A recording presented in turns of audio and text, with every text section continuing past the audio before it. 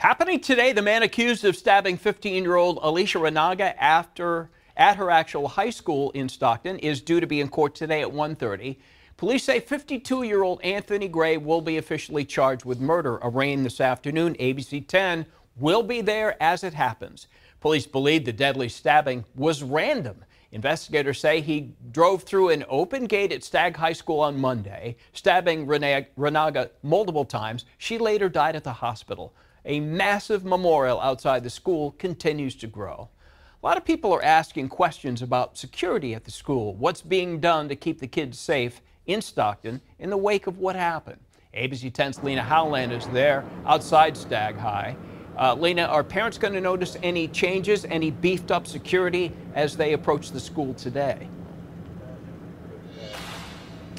Yeah, that's right. Well, parents will notice those changes as soon as they get to the this school today when they start dropping off their students and they notice they're not allowed on school property uh, right now. I'm going to step out of the shot to show you a little bit of the roadside memorial that is set up for that 15 year old girl who was stabbed and killed here on Monday. It's now only been two days since that tragedy happened here at Stagg High School, and school officials tell us they are already making changes to security to protect both students and staff. The Stockton Unified School District said that they have increased security not only here at Stagg High School, which was doubled yesterday, but they have increased security at all of their schools, and they've also increased the number of counselors on hand.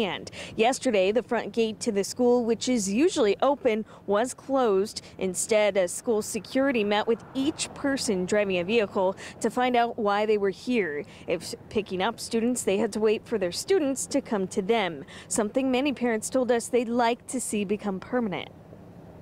I would suggest it be closed from now on, like just just for the kids' safety. I don't mind. I think it's safe to, um, safe for our kids.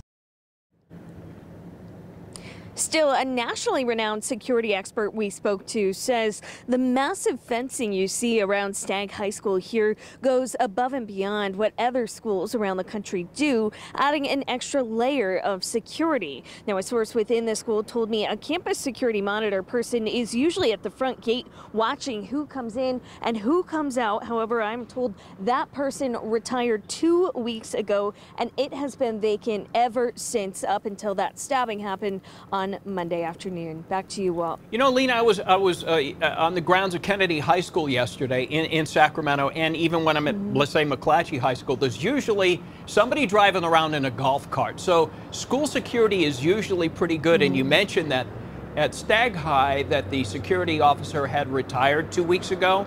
Um, we're told that that position has now been filled since what happened, right? Uh, at, at, this point in time, we are seeing that there are security guards manning this front gate. They were there all day yesterday, and they're expected to be out there today. We don't know if that position has been permanently filled or not, but it does appear as though somebody uh, has taken that spot for right now. Yeah, I, I would think that that's a, a, pretty high priority. I would think the parents would insist on that at this yeah. point. Lena Howland, Stagg High School. Lena, thank you.